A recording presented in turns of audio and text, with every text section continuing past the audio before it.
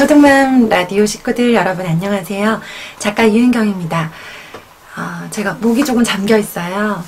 어, 특별히 바쁘고 뭐 이런 건 없었는데요. 저희 집에 이제 주말에 식, 손님이 좀 오셨었어요. 그래서 아, 이렇게 손님이랑 이야기를 많이 하다 보니까 지금은 돌아가셨는데 음, 어, 목이 조금 잠겨 있는 상태예요. 그래서 목소리가 조금 두껍게 제가 들리는 것 같습니다. 어, 저는 지금 이걸 찍고 있는 지금은 일요일 저녁이고요. 11월 오늘이 5일? 4일이네요. 네, 11월 4일 이제 월요일 저녁이고요. 저는 음, 지난주 금요일에 저녁에 낮에 우리 대표님 만났었어요. 초등맘 카페 대표로 이제 운영하고 계시는 도종훈 대표님 만나고 왔어요. 네. 어, 저 대표님 음, 이제 뵙고 네 너무 재미있었고요 저는 아, 죄송해요 도준영 대표님인데 제가 아는 분이 비슷한 성함이 계셔가지고 자꾸 착각을 하거든요. 네, 도준영 대표님 만나 뵙고 왔습니다. 어, 소감은요 정말 즐거웠어요. 저는 방송으로 많이 뵙기는 했지만 실제로 그렇게 소탈하실 거라고는 어, 사실 예상은 하긴 했지만 막상 만나 뵈니까 되게 편안하시더라고요. 그리고 또 저희가 영상으로 어쨌든 서로 많이 본 사이잖아요. 그러니까 정말 초면인데도 어, 초면임에도 불구하고 너무 편안했어요. 만나 뵙고 있는 시간이 꼭 이렇게 몇 번 만났던 사이 같고 또 원래 알던 사람 같고 그런 느낌이 들어서 너무 편안하게 꽤 오랜 시간을 함께 있었는데도 되게 편안하게 저는 느꼈었어요. 네, 그래서 너무 좋은 시간이었고요. 책에 대한 고민도 나누고 또 초등맘 라디오에 대한 여러 가지 이야기도 듣고 또 저의 책에 대한 얘기도 나누고 우리 초등맘 카페 궁금증들로 이루어진 새로 나올 책들에 대해서 이야기를 나누고 또 이제 저희가 이야기 나누고 음, 같이 책을 내기로 한 출판사에서 이제 편집팀에서 오셨어요. 그래서 오셔서 합류하셔가지고 책에 대해서 책 내용이랑 그 다음에 이제 앞으로 홍보랑 마케팅 방향에 대해서 또 책의 제목이나 부제 이런 것들에 대해서도 어, 만나서 아주 즐겁게 이야기를 나누었습니다. 어, 다들 좋으신 분이셨고 저는 이렇게 기쁜 음, 프로젝트에 참여하게 되어서 너무 영광으로 생각하는데요. 어, 좋은 책이 나오기 위해서 더욱더 열심히 노력하겠습니다. 오늘은 이제 일요일이었는데 제가 시간이 조금 있었어요. 한, 한두 시간 정도 시간이 돼서, 어, 저희 그 책 원고를 다 이렇게 받은 거 있어요. 원고를 놓고 정리를 막 해서 이 책을 저 혼자 쓰고 있는 게 아니고요. 초등 선생님들 한 30여 분께서 지금 같이 써주고 계세요. 원고를. 저 한 사람의 어떤 의견으로 어, 이렇다 저렇다라고 단정 짓기가 저는 조금 두려운 마음이 있거든요. 제 말이 정답은 아니잖아요. 그쵸?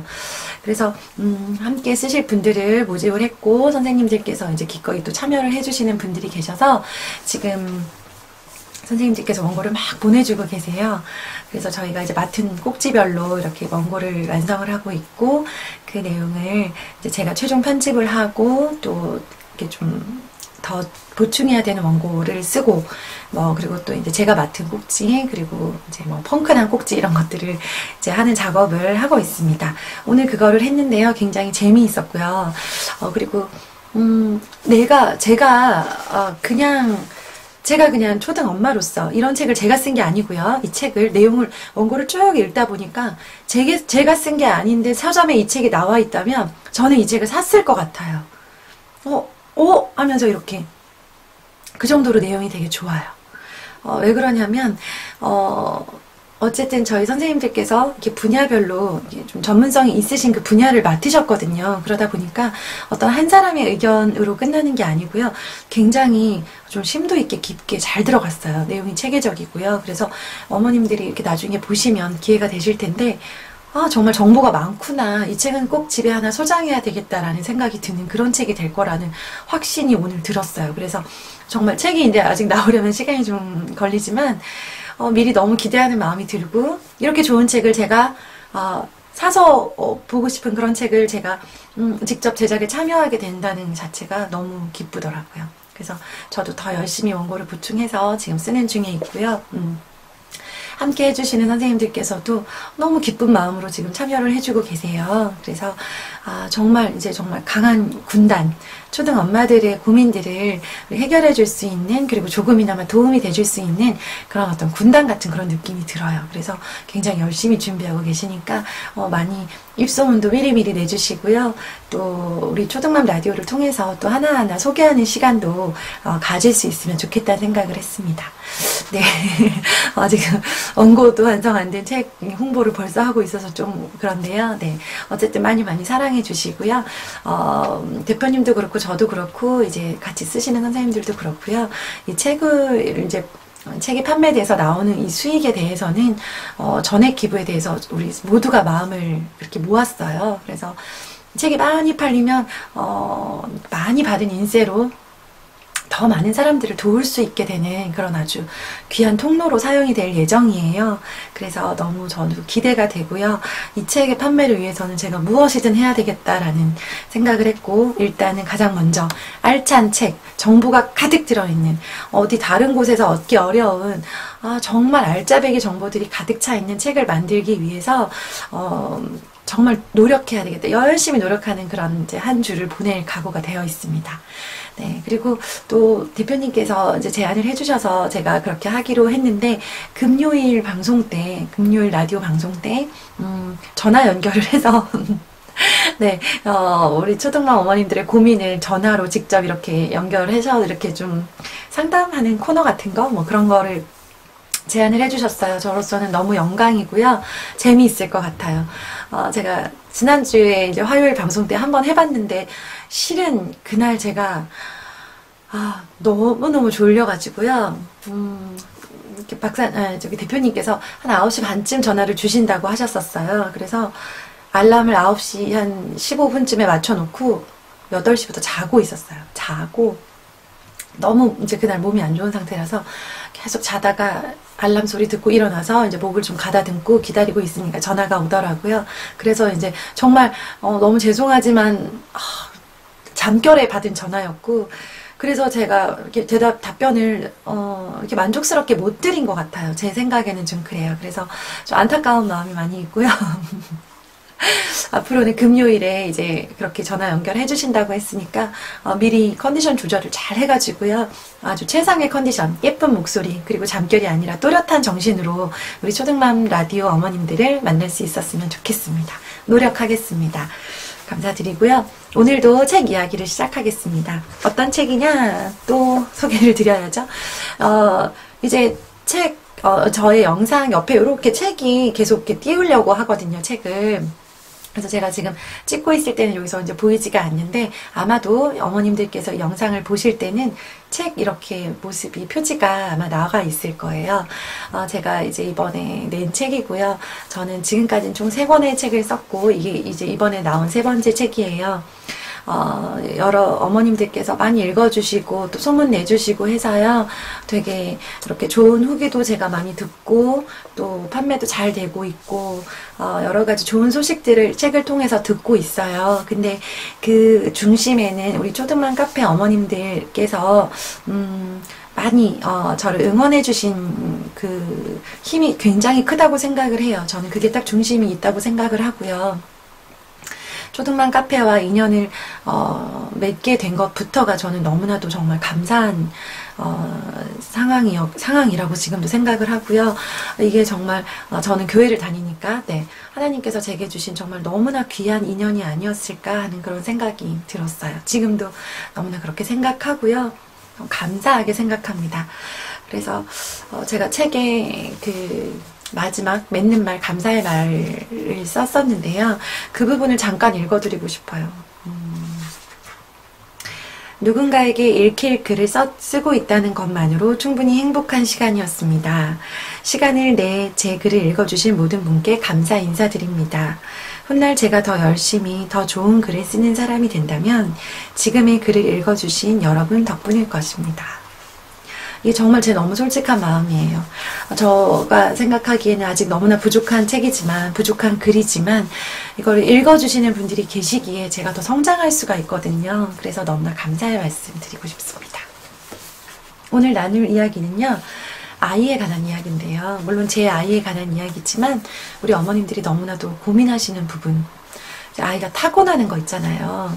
타고나는 아이를 이제 아이가 나와 이제 아빠를 통해서 엄마 아빠를 통해서 유전자를 받아서 아이가 태어나고 그건 이제 아이가 어떤 걸 의도한 적도 없고 아이가 어 그걸 노력한 적도 없는데 가지게 되는 그런 당연한 습성들이 있단 말이에요. 근데 그것을 너무 좋은 것도 많죠. 정말 뭐 제가 만약에 이제 머리 이수치 많은 편이에요. 그러면 저희 아이가 머리숱이 어, 많아요. 좋아요. 그럼 너무 만족스럽잖아요. 보고 있으면. 근데 반대로 어 저가 저는 이제 어려 그 고등학교 아니 그 성인이 돼서까지도 여드름이 정말 많이 났어요. 저 지금 이제 이거는 다 완전 화장해서 가린 거고요. 지금도 여기 턱에 여드름이 되게 심하게 나가지고 네 여기다가 막 그 반창고 붙여놓고 짜고 가서 막 주사 맞고 이러고 살거든요. 되게 피부 트러블이 많은데 이제 그거를 또 저희 아이 중에 누군가는 닮았어요. 네. 그래서 뭐 벌써 막 코에 블랙헤드가 있고 여기 막 이렇게 여드름 같은 게 좀 톡톡 나오고 피부 트러블이 좀 있는 아이가 있더라고요. 저 닮은 거겠죠. 그죠?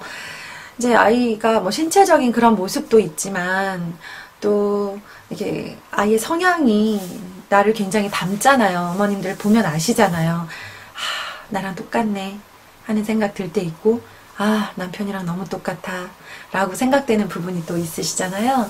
이제 그거를 보면서 음, 참 너무 대견스러울 때도 많지만 너무 안타까울 때, 속상할 때가 사실은 더 많은 것 같아요.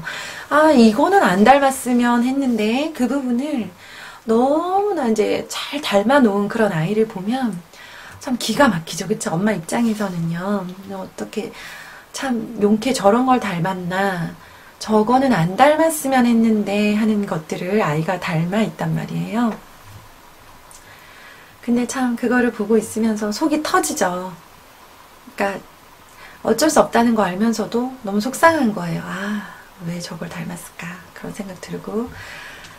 나는 나의 이 모습이 너무 싫은 부분이 있는데, 그거를 아이가 그대로 닮아서 내가 부족하듯이 아이가 부족한 모습을 보일 때, 예, 그럴 때 진짜 엄마로서 참 속도 상하고, 어, 아이를 어떻게 바꿔야 될까, 막 이런 고민에 빠지게 되죠. 저도 그래요. 지금도 그렇고요. 지금 이제 예전에 그랬던 경험을 썼는데요. 음, 저는 이제 아들이 둘이 있어요. 큰아이가 초등학교 4학년이고요. 작은아이는 3학년인데요. 큰아이는 항상 성장이 좀 빨랐어요. 생일도 뭐 엄청 빠르고요. 또래에 비해서 키도 크고 말도 빠르고 뭐 행동 뭐 걷는 것도 빠르고 기는 것도 빨랐고 먹는 것도 잘 먹고 항상 그냥 정말 기다릴 것 없이 아이가 쑥쑥 성장하는 그런 아이들 있잖아요. 그러니까 제가 아우 저 아이가 나를 닮았겠지? 하면서도 마음속에서는요 아니야 나보다 훨씬 더 괜찮은 아이일 거야. 훨씬 더 장점이 많고 훌륭한 아이일 거야 라는 기대를 하게 되더라고요. 기대를 했어요. 그래서 처음으로 이제 학교 입학을 하고 초등학교 공개 수업에 갔어요. 아 제가 생각했던 아이 그런 머릿속에 막 뭉게뭉게 상상했던 거는요 너무 멋있게 막 제가 발표하겠습니다 하고 일어나서 발표하고요. 음, 막 여유롭게 엄마를 보면서 막 씩 웃으면서 손도 흔들어주고요. 또 친구들이랑 막 웃음 가득한 얼굴로 막 이렇게 열심히 모든 활동도 하고요. 음, 또 선생님이 하라고 하면 열심히 하고 제가 할게요 이렇게 발표하는 그런 모습 있잖아요. 아 그게 너무 그 모습을 너무 기대를 많이 했어요. 어, 아이가 이제 뭐 잘하든 평소에 잘했든 못했든 간에 공개 수업을 갈 때는 너무나 기대하는 마음이 크잖아요. 아 이거 어떤 모습을 보일까? 특히 또 1학년 입학하고 처음 가는 공개 수업이니까 굉장히 기대가 컸단 말이에요 저는. 그랬는데 안타깝게도 음, 아이가 발표를 할 차례가 되었는데 아, 정말 과하게 긴장을 하더라고요. 얼굴이 빨갛게 되고 귀까지 완전히 빨개지고 일어났는데 이거는 앉은 건지 일어났는지 잘 모르겠어요. 엉거주춤하게 일어나가지고 덜덜덜 떨면서 발표를 하고 다시 앉더라고요. 뭐라고 발표했는지 소리도 잘 들리지 않고 평소에 제가 알고 있던 그런 좀 자신감 넘치고 또 내가 바랬던 그런 멋진 음, 남학생의 모습이 전혀 아니었어요. 그래서 너무 속이 상한 거예요. 그거를 보고 있는데 아, 쟤왜 저러지? 막 이런 마음이 들고 저렇게까지 긴장을 해서 커서 뭐가 되려 그러나? 막 이런 안 해도 될 막 그런 미래까지도 불안해. 뭉게뭉게 불안해하고 아 뭐 안 되겠어 안 되겠어. 막 이러면서 혼자 뭐 별 생각을 다 하죠. 그 모습을 보면서. 이제 그러면서 아 저거 왜왜왜 그러는 거야 도대체? 막 이러면서 좀 못마땅해 하면서 결론이 이제 어떻게 났냐면 음 결론이 어떻게 났냐면요 그 모습을 이렇게 보면서 제가 속이 상해서 조금 기분이 그렇게 유쾌하진 않더라고요. 유쾌하진 않은 상태에서 속이 상해서 집에 돌아오는데 딱 스쳐 지나가는 그 어떤 장면이 있었어요. 뭐냐면 제가 어렸을 때 수업 시간에 발표하던 모습이 떠오르더라고요. 너무나 똑같은 거예요. 저는 아예 손도 들지 못했어요. 그리고 어, 저희 아이가 했던 것보다 훨씬 더 작은 소리로 발표를 했고요. 발표를 하는 횟수가 저희 아이에 비하면 뭐 턱없이 뭐 정말 어쩔 수 없이 선생님이 시키면 막 이렇게 잠깐 일어나서 이렇게 발표하고 얼른 다시 자리에 앉고 막 개미만한 목소리로 말하고 저 또한 너무나 그런 사람이고 그런 사람이었고 저 사실은 지금도 되게 긴장 많이 하거든요. 카메라 앞에서 할 때는 사실 좀 덜한 게 보는 사람이 없어요. 저 방에서 이제 혼자 찍고 있어가지고 보는 사람이 없으니까 그냥 막 에라 모르겠다 하고 이제 그냥 편하게 얘기하는 편이고요. 이것도 처음 할 때는 긴장 엄청 많이 했고요. 이제 강의나 강연 같은 거를 가끔씩 아주 가끔씩 갈 때가 있어요. 가잖아요. 그러면은 어, 너무 떨려요. 처음에 떨려서 처음에는 이제 이렇게 마이크를 보통 들고 하잖아요. 음, 처음 한 10분 정도는 제가 제 목소리 떨리는 소리가 저한테 다 들려요. 그 정도로 다 들릴 정도로 굉장히 긴장을 많이 하면서 이렇게 하는데 그 긴장하는 그것들이 저를 이제 그대로 아이가 닮은 거잖아요. 근데 저는 그거를 되게 못마땅해 하는 거예요. 아이가 뭘 잘못한 게 아닌데 그냥 타고난 건데.